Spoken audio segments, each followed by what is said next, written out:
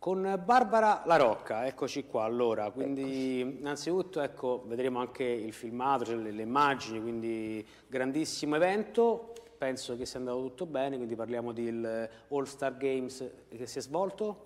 Il 25 febbraio a, nel campo della Stella Azzurra. Stella Azzurra, quindi ecco, grandissima partecipazione, quindi quattro squadre mi sembra?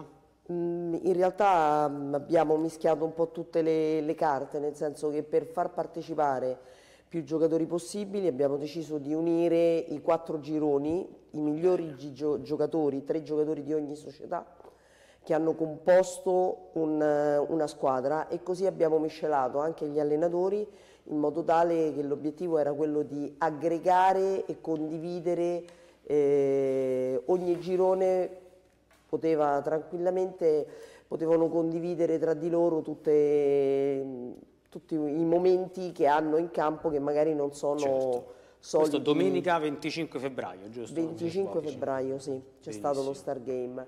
Nel frattempo noi siamo partiti con eh, il corso allenatori. Eh sì, istruttori. Infatti, istruttori. Sì mini basket e allenatori di basket con Maurizio Mondoni. Per Dovremmo avere anche le locandine, quindi parliamo con mini basket, questo è mini basket, eccolo qua. Sì, per noi è stato un successo perché è il primo anno che viene fatto questo, questo corso e abbiamo ottenuto dei numeri molto importanti, superiamo le 35 unità che per essere la, eh, la prima, prima volta, volta, per noi certo. è tantissimo. E invece l'altro corso?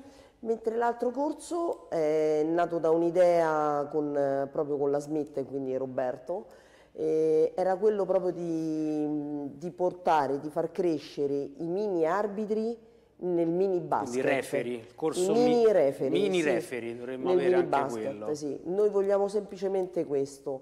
Quindi portare... per inculcare già ai bambini il ruolo sì. dell'arbitro, no? Far capire, per capire anche dal punto un attimino, di vista... è questo penso Giocare con le regole. Giocare con le regole. Giochiamo con le regole, sì, deve essere un gioco perché sennò non li appassioniamo. Ecco.